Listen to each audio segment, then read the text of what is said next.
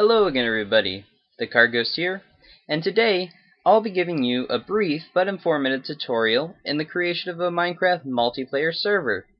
Yes, this tutorial does work for all versions of the game, including beta, so don't worry about this video's posting date. Essentially, if you're at all part savvy about computers and gaming in general, then you should have no problem setting up your server and playing with your friends in just a matter of minutes.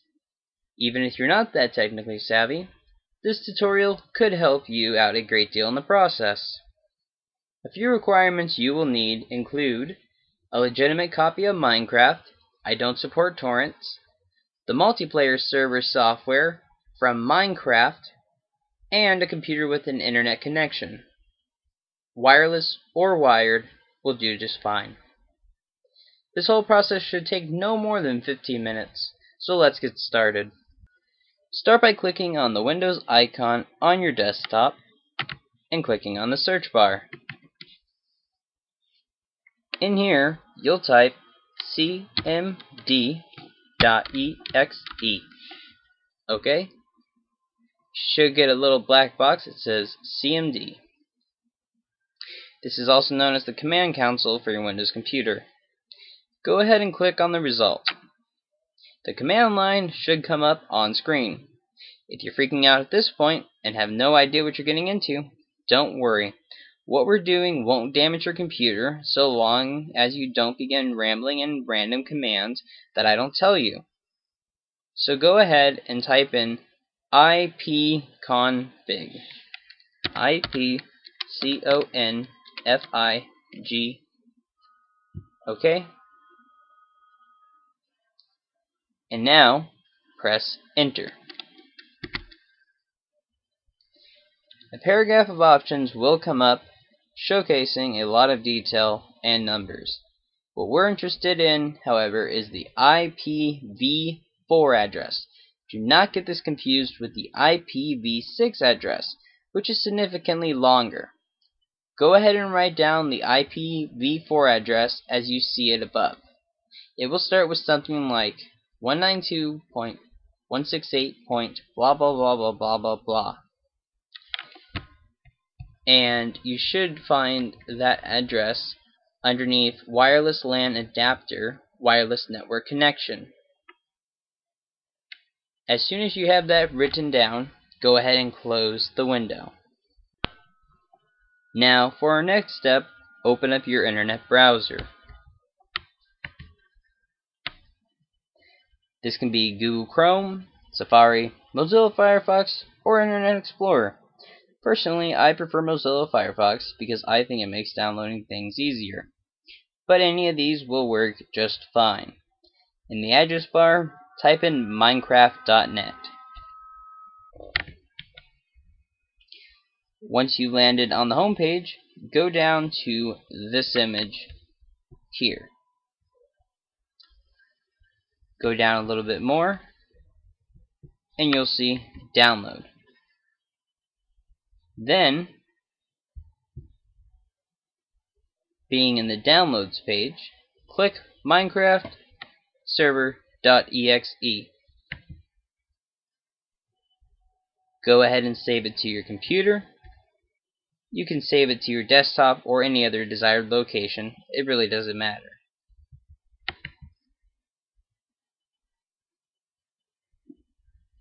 Once the file is fully downloaded, create a folder on your desktop entitled Minecraft Server.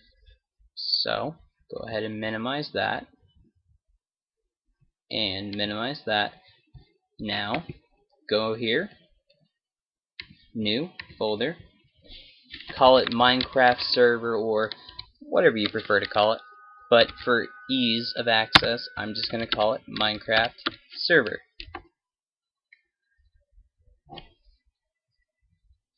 Once created, find your downloaded file and drop the file you just downloaded inside that folder.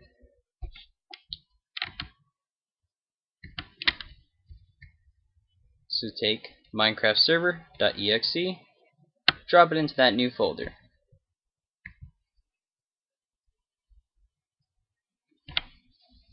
Once you're done with this, you can close the folder that the file is inside. So, we're all set now.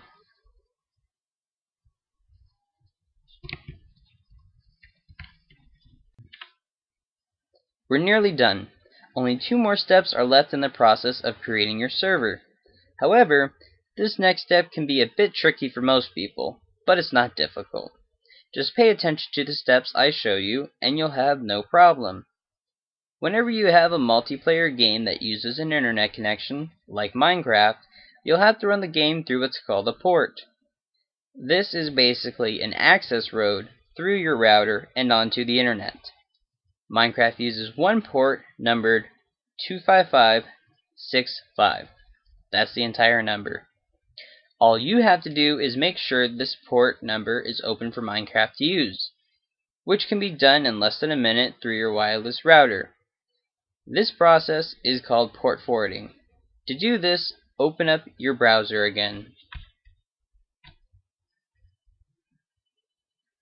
Now, before I go any further, this process applies to everyone on a wireless router, but not every brand of router is exactly the same.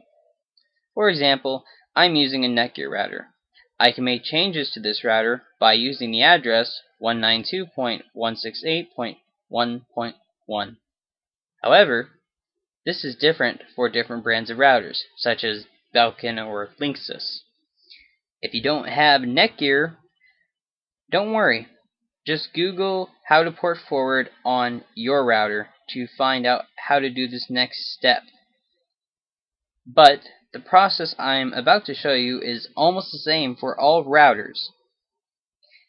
The only difference is you'll have to enter a different number to access your specific router.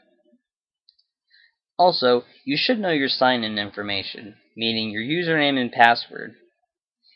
If you don't know your sign-in information, then ask your parent or guardian. So let's continue. Once you've entered your router through the internet browser, you'll have a ton of options on screen. What you want to look for is port forwarding, usually listed by itself on the front page or under applications and gaming.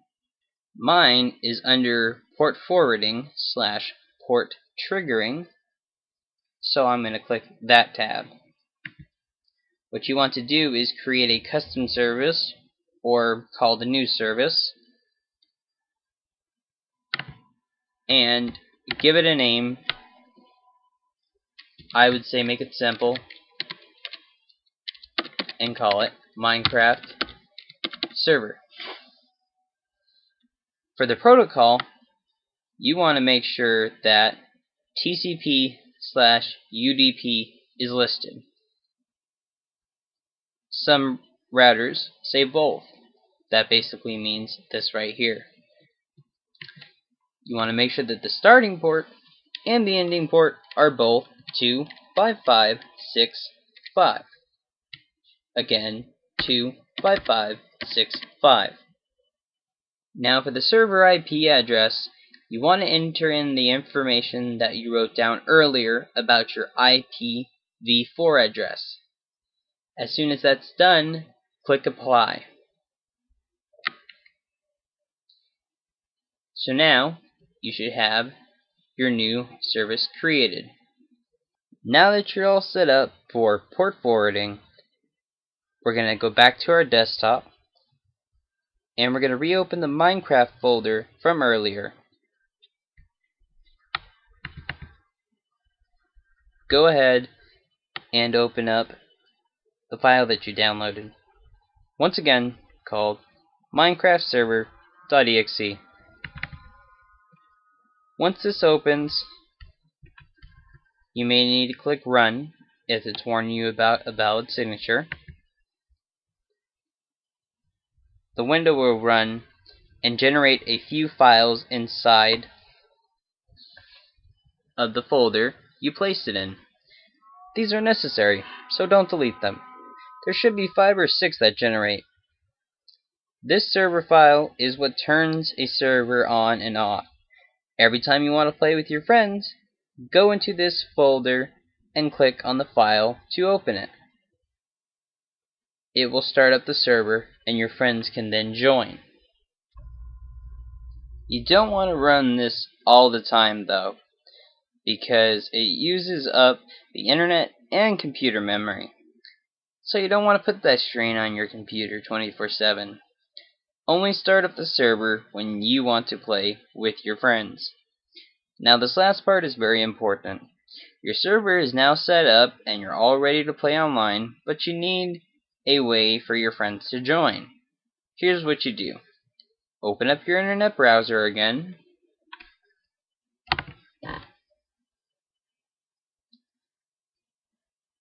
And what you're going to do using Google, Bing, or any other preferred search browser, type in IP chicken and click on the first link. You're going to write down the numbers you see. This is what is called your external IP address. It is very important you keep this number secure and only give it to friends you want to play with in Minecraft. Now, all your friends have to do is take that IP address, get on their game, go to multiplayer, and enter it in, the one you got from IP Chicken.